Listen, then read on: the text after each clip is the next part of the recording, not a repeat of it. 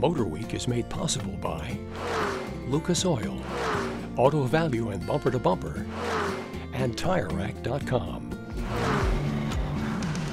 The Mitsubishi Outlander seems to find new ways to impress us every time we hop in one. For 2023, it's the long anticipated plug in hybrid version that sees the biggest jump forward.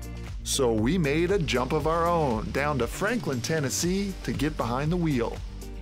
This all new generation of Outlander PHEV uses a 2.4 liter four cylinder engine tethered to a pair of more powerful electric motors, one in front and one in back for standard all wheel drive.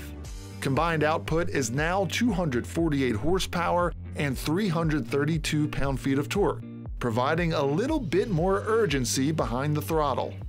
Another big improvement is the battery, now 20 kilowatt hours, up from 13.8. That means an electric only range of 38 miles, 14 more than before.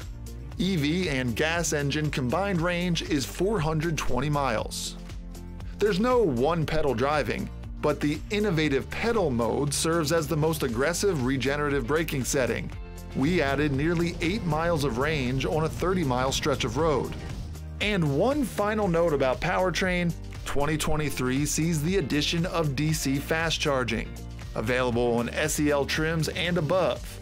A 0 to 80% charge can be done in about 38 minutes.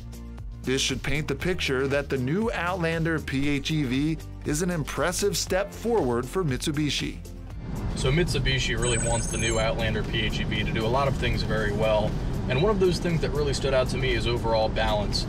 This vehicle weighs about 440 pounds more than its internal combustion counterpart, and as we're cruising through a lot of these wet Tennessee back roads, you can really feel that it has good grip, there is a lot less body roll. However, the one thing I wish that it did have more of is more steering weight. Like previous models we've tested, the 7-seater interior is quite premium, perhaps surprisingly so for those not in the know. A digital gauge cluster is standard, and the massaging seats are exclusive to the plug-in. Tally it all up, and the 2023 Mitsubishi Outlander PHEV is now a more enticing offering in a sea of utilities, especially with plug-ins becoming more and more prevalent.